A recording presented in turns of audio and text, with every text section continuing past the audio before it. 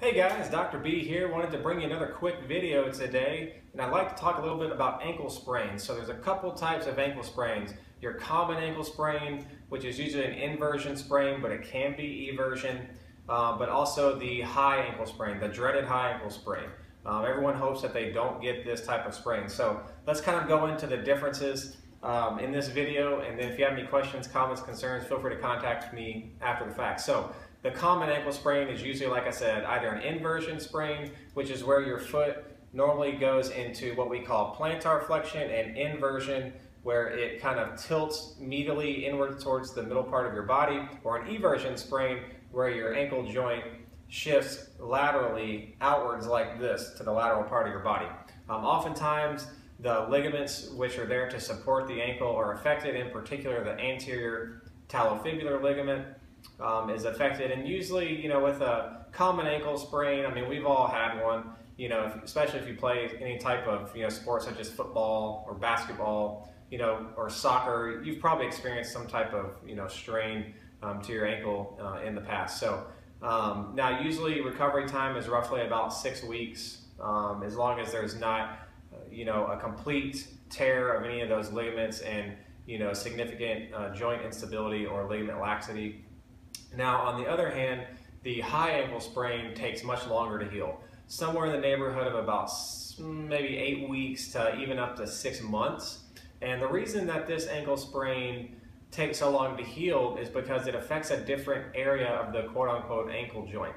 So you have your tibia, which is your shin bone, and right next to it you have your fibula, and then those two bones are basically um, connected to the ankle at the talus bone. And so these two bones, the fibula and the tibia, are connected through an interosseous membrane, which is a very kind of fibrous uh, membrane that connects the two bones together and kind of keeps them from pulling apart too much. Now, oftentimes in a high ankle sprain, it's injured during some type of uh, twisting maneuver where you have like a shear force and it basically just rips that membrane or stretches it too far, causing a sprain. But also, if you have too much what we call dorsiflexion, which is where your foot, you know, your, basically your toes point towards the ceiling and they come too close and they basically close that gap between the tibia, the fibula, and then your ankle, that can also cause a force on those on that interosseous membrane that can sprain it as well.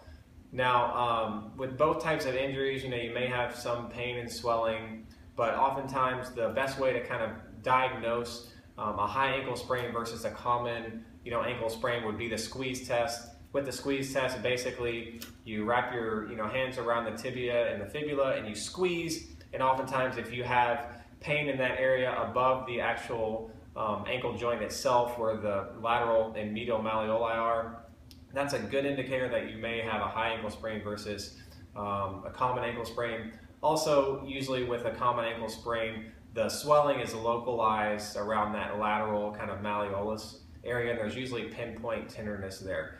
So I hope this video was informational. Thanks for listening. If you have any questions, feel free to contact me on Instagram at SportsPod or Twitter at the Sports Pod. hashtag Ask Dr. B. Have a good one.